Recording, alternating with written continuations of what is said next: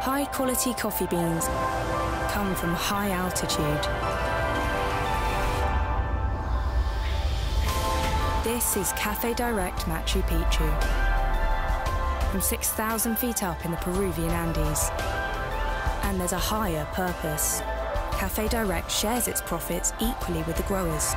Cafédirect Machu Picchu. Ridiculously good coffee